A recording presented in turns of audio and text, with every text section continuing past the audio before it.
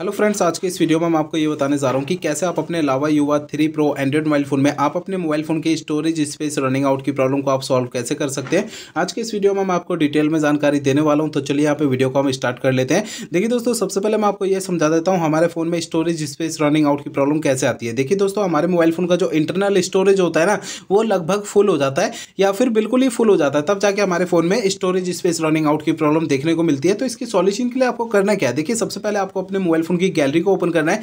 Phone की gallery के अंदर आपकी जितनी फालतू की फ़ोटो वीडियो आपकी पड़ी हुई है ना, सारी की सारी फालतू की फ़ोटो वीडियो आपको परमानेंट डिलीट करनी है, जिससे आपके फ़ोन की स्टोरेज स्पेस रनिंग आउट की प्रॉब्लम सॉल्व हो जाती है, ठीक है? अब दोस्तों, अगला काम ये करना है, देखिए, आपके फ़ोन में ना काफ़ी सारे ऐसे ऐप्स होते हैं, जिनके अंदर आपको ना बैकअप की सेटिंग मिलेगी, ठीक है? तो जिस जिस ऐप के अंदर आपको बैकअप की सेटिंग मिल जाती है, उन सभी ऐप्स में से आपको बैकअप सेटिंग को बंद करना है, ठीक है? यहाँ पर मैं आपको समझाने के लिए एग्ज़ाम्पल के लिए मैं अपने मोबाइल फ़ोन की गैलरी को ओपन करता हूँ। फ़ोन की गैलरी में देखिए राइट साइड के टॉप पर ना ये प्रोफ़ाइल पिक्चर मिलेगी, इसे टैप करना है। आपका ना एक पेज ओपन होगा, ये वाला। इसमें देखिए बैकअप की सेटिंग है। तो ये बैकअप इस ऑफ़ लिखा हुआ है, क्योंकि मैंने इस ऐप की बैकअप सेटिंग को पहले से यहाँ पे बंद कर रखा है। अगर आपकी बैकअप सेटिंग यहाँ पे चालू रहती है ना तो इसके ठीक नीचे यहाँ पे ना ऑफ़ का बटन होगा। ऑफ़ पे टैप करके इस बैकअप सेटिंग को बंद कर देना है। अब देखिए, ये तो हो गया आपके इसी तरीके से आपको ना और भी है ना जितने भी ऐप्स में बैकअप सेटिंग मिल जाती है, इसी तरीके से आपको बंद करनी है, ठीक है ना? देखिए, ये तो हो गया आपके ऐप्स की बैकअप सेटिंग की बात। अब आपको है ना अपने मोबाइल फ़ोन की बैकअप सेटिंग बंद करनी है। इसके लिए आपको मोबाइल फ़ोन का सेटिंग पेज ओपन करना है। सेटिंग पेज में आपको जो है ना, नीचे की साइड इस सिस्टम पर टैप करना है। इसके अंदर आपको ये देखिए बैकअप की सेटिंग है तो बैकअप के नीचे ऑफ़ लिखा हुआ है क्योंकि मैंने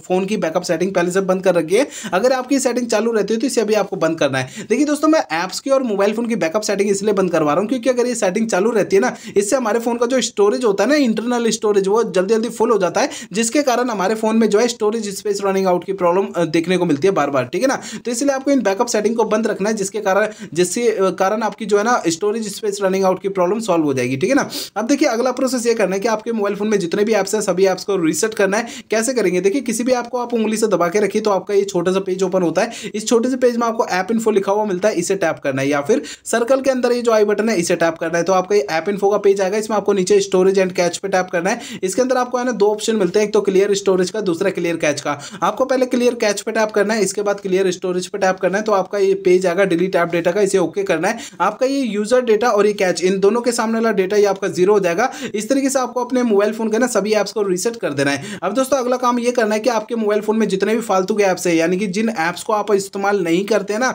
उन सभी फालतू के ऐप्स को अपने फ़ोन से अनइंस्टॉल कर देना है, जिससे आपके फ़ोन की स्टोरेज स्पेस रनिंग आउट की प्रॉब्लम सॉल्व हो जाती है। देखिए दोस्तों, फालतू के ऐप्स में अनइंस्टॉल करने के लिए इसलिए कह रहा हूँ क्योंकि आप अपने फ़ोन में जब भी किसी ऐप को इंस्टॉल करते हैं ना तो वो जो ऐप होता है ना इंस्टॉल होने के बाद आपके फ़ोन का इंटरनल स्टोरेज कवर करता है, ठीक है ना? तो इसलिए आपको अपने फ़ोन से फालतू के ऐप्स हटा देने हैं। अब देखिए दोस्तों, अगला प्रोसेस ये करना है कि मोबाइल फ़ोन को रिसेट करना है। देखिए दोस्तों मोबाइल फ़ोन को रिसेट आपको तब करना है, जब मेरे बताए हुए पिछले प्रोसेस कोई भी काम नहीं करते हैं, तब आपको फ़ोन को रिसेट करना है। अदरवाइज़ नहीं करना है। फ़ोन को रिसेट करने के लिए आपको फ़ोन का सेटिंग पेज ओपन कर लेना है। सेटिंग पेज में आपको ना नीचे की साइड सिस्टम पे सिस्टम पे आपको टैप करना है। इसके अंदर आपको नीचे की साइड रिसेट ऑप्शन टैप करना है। इसके अंदर सबसे नीचे delete all data factory reset पे टैप करना है। इससे आपका फ़ोन रिसेट हो जाएगा और आपके फ़ोन की स्टोरेज स्पेस रनिंग आउट की प्रॉब्लम सॉल्व हो जाएगी। लेकिन आपको फ़ोन को रिसेट करने से पहले दो बातों का ध्यान रखना है। पहली बात ये ध्यान रखनी है, आपके फ़ोन में जितना भी डेटा है, सारा डेटा आप किसी दूसरे फ़ोन में ट्रांसफ़र कर लीजिए।